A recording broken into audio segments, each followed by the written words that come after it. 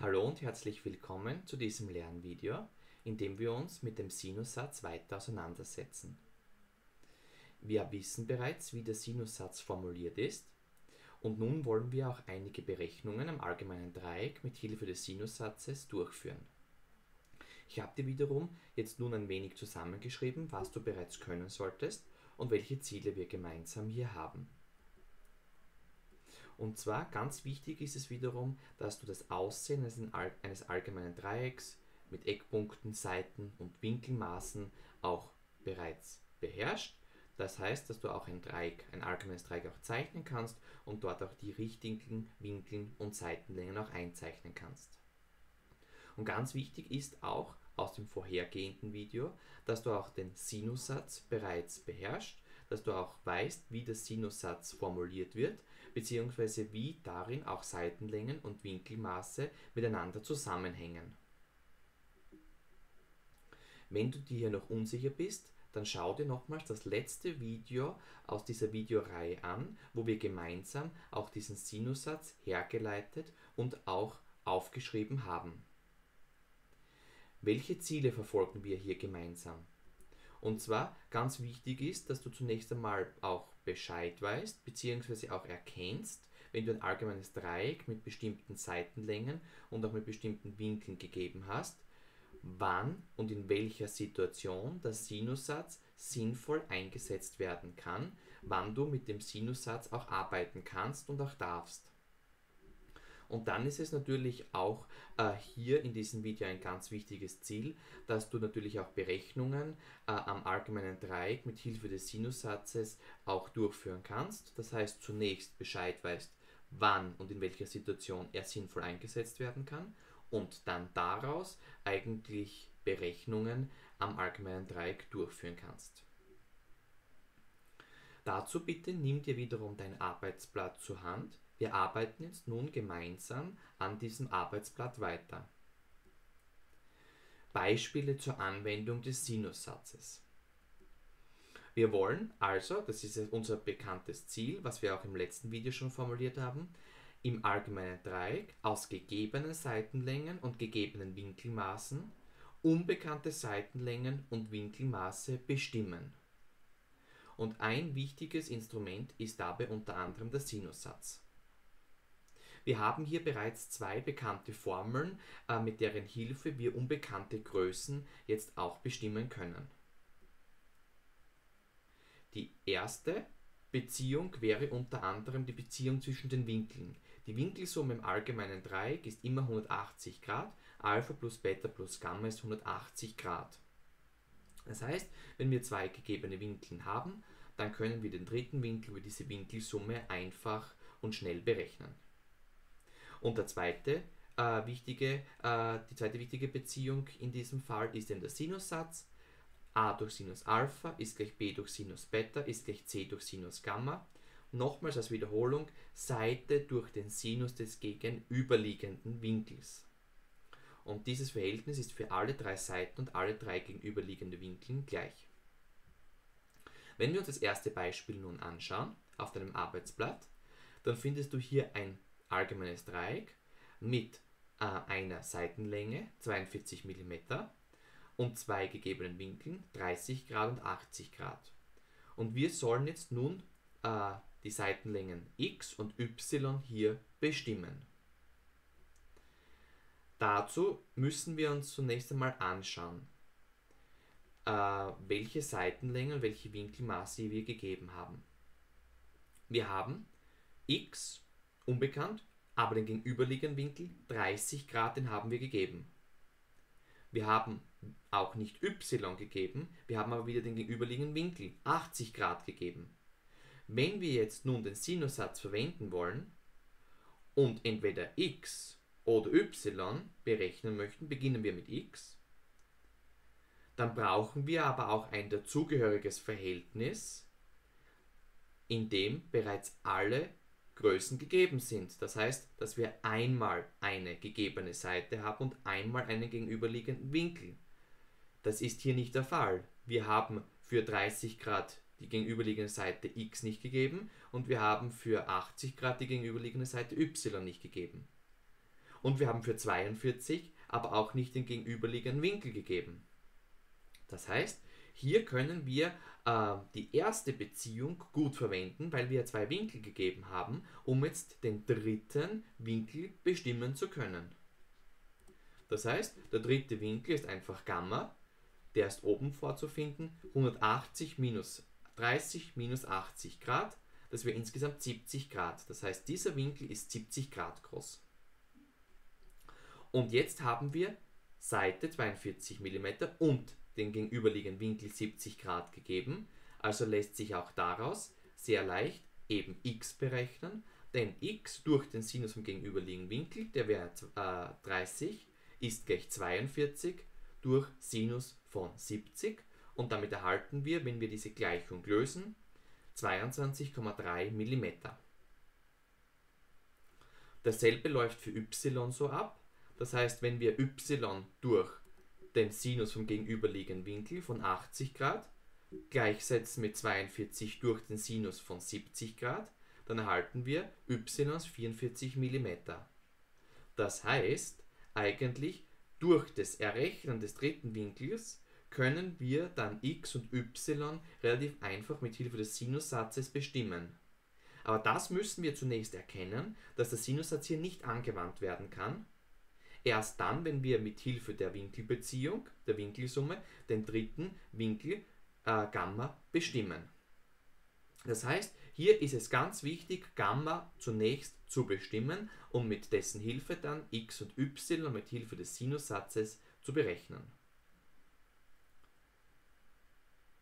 Gut, schauen wir uns ein weiteres Beispiel auch an. Und zwar äh, jetzt die Berechnung eines Winkels. Wenn wir jetzt in diesem Dreieck 3 cm die eine Seite und 4,7 cm die andere Seite gegeben haben und 30 Grad einen Winkel haben, dann können wir jetzt Alpha wiederum mit Hilfe des Sinussatzes bestimmen. Ich möchte jetzt nur noch gerne, dass du dieses Beispiel selbstständig löst und wir dann gemeinsam die Lösungen miteinander vergleichen. Du kannst dieses Video hierzu nun stoppen. Gut, Schauen wir uns gemeinsam die Lösung an. Wir haben jetzt die 3 cm und den gegenüberliegenden Winkel 30 Grad gegeben.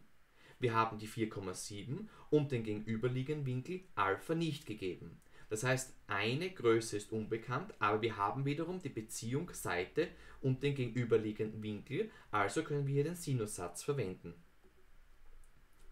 Der Sinussatz läuft dann so ab, 3 durch Sinus Alpha, also 3, äh, 3 durch Sinus 30 Grad ist gleich 4,7 durch den Sinus von diesem unbekannten Winkel Alpha. Immer Seite durch gegenüberliegenden Winkel und dieses Verhältnis setzen wir gleich. Und dann erhalten wir, wenn wir das umformen, Sinus Alpha ist gleich 4,7 mal Sinus von 30 durch 3.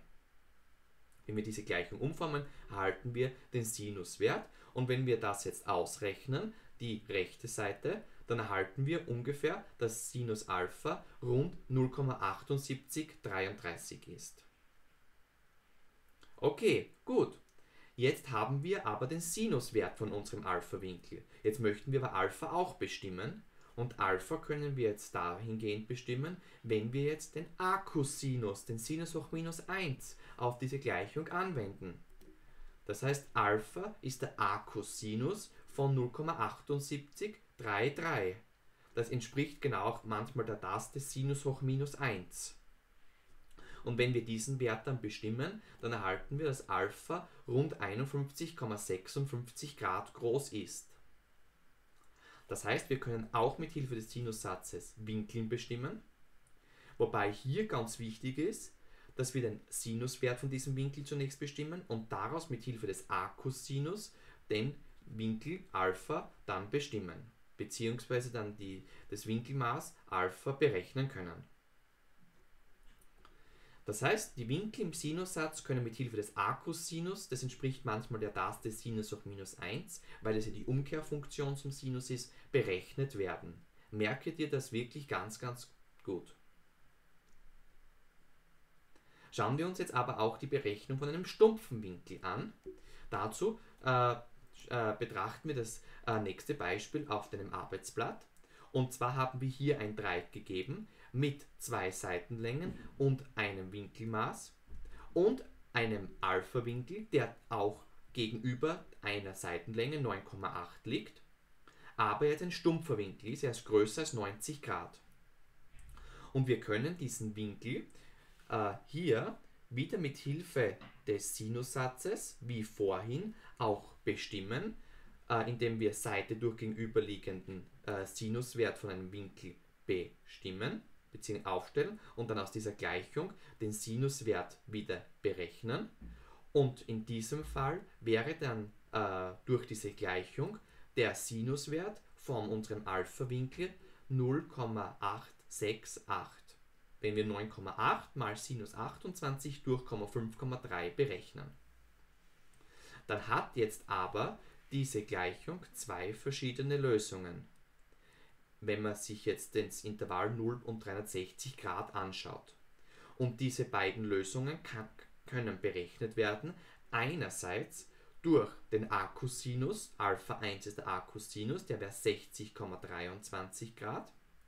Und auf der anderen Seite hat aber auch äh, dieser Sinuswert eine andere Lösung. Und zwar, wenn wir im Einheitskreis hineinschauen, dann gibt es genau auf der anderen Seite im zweiten Quadranten auch eine Lösung. Und die kann man berechnen durch 180 minus unserem Alpha-Wert. Das wäre 119,70 dann.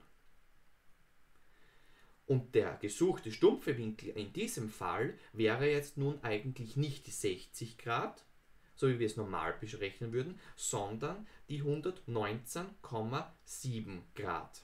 Also der zweite Winkel, Alpha 2. Und es gibt jetzt nun allgemein ja tatsächlich zwei Dreiecke mit diesen gegebenen Abmessungen. Das Dreieck ABC und das Dreieck A' B und C. Wenn wir unten in diese Grafik, in dieses Dreieck hineinschauen, dann erhalten wir einmal das Dreieck ABC, wo wir diese Maße haben, und einmal aber das Dreieck A'BC, das ebenso dieselben Abmessungen hat, 5,3 als eine Seite, 9,8 und die 28. Und wir sollen jetzt nun erklären, warum jetzt ähm, Alpha' 180 Grad minus Alpha gilt. Am Alpha' ist der Winkel bei A' und Alpha ist der Winkel bei A.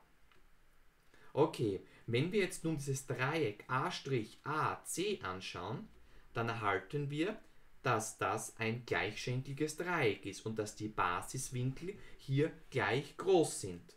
Das heißt, es tritt auch hier dieser Winkel Alpha' auf. Die zwei Winkel unten sind gleich groß. Und wenn wir jetzt nun anschauen, was mit Alpha und was mit Alpha' hier passiert, dann sehen wir, dass sie sich auf 180 Grad ergänzen und damit die Gleichung gilt. Alpha' plus Alpha ist 180 Grad, also gilt insgesamt die Beziehung Alpha' ist 180 minus Alpha. Das heißt, der zweite Winkel ist in dem Fall 180 Grad minus Alpha. Das erkennen wir anhand von diesen beiden Dreiecken, die sich äh, mit denselben Abmessungen ergeben. Also es ist ganz, ganz wichtig, dass du Bescheid weißt, ob es sich um ein äh, Dreieck mit einem stumpfen Winkel oder einem Dreieck mit einem spitzen Winkel handelt, weil demnach auch äh, die Berechnung von diesem Alpha-Winkel auch unterschiedlich abläuft. Wirklich kontrolliere das zuvor, ob es sich um stumpfwinkliges oder spitzwinkliges Dreieck handelt und gehe dann Schritt für Schritt so vor, wie wir es jetzt in diesem Beispiel dann gemacht haben. Du siehst also, der Sinussatz wird eigentlich sehr oft verwendet, wenn wir Seite und gegenüberliegenden Winkel auch gegeben haben und dadurch Verhältnisse auch aufstellen können.